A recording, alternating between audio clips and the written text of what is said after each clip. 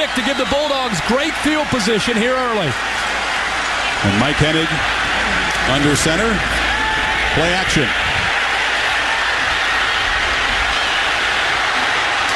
He's not one of the more mobile quarterbacks, and he gets rocked by Jasper Brinkley, one of the Brinkley twins.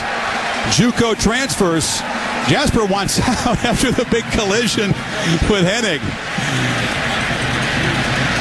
He's uh, favoring his right shoulder. Henig looks okay. I'm glad that, that Henig got up after this. I mean, it, this is a big hit. This, keep in mind, guys, first play of the season for Michael Henig.